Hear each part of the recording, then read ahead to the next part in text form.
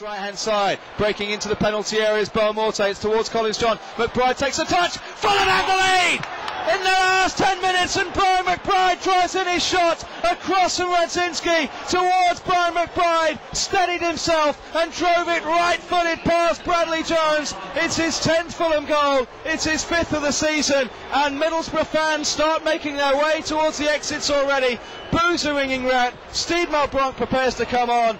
Moritz Volz ties his shoelace, but it's Brian McBride who's getting the hugs and the pats and the kisses from his teammates. It's Middlesbrough nil, Fulham one, and the fans are dancing for joy. With all due respect to, to Brighton, just because it's a difficult place to go and play your footballers. Edwin van der Sar comes to the edge of his 18-yard box. He batters into Jimmy Floyd Hasselbaink and Rob Styles awards a penalty against Edwin van der Sar for clattering into his international colleague.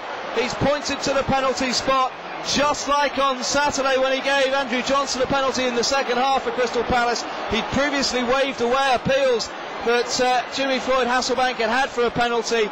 This time he looked across at his assistant referee on the far touchline, who looked back at him with a, a blank look. Chris Coleman and Steve Kean stood at the edge of their technical area, are absolutely bemused. Van der Sar didn't come and gather the ball because it was outside his penalty area.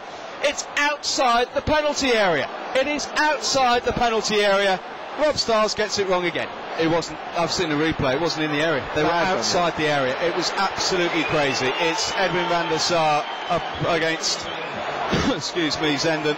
He will sweep his hair back. A little bit of strapping on his wrist. He'll take this penalty. Van der Sar makes himself big. Fulham leading by a goal to nil. We're in the final 60 seconds. Can Van der Sar be the hero of the night again for Fulham? With uh, Brian McBride again the lift. He can't. It's been driven in by his international colleague Willem Zenden, who makes an acrobatic drive to celebrate. Edwin van diving to his left-hand side. Zenden driving the penalty hard.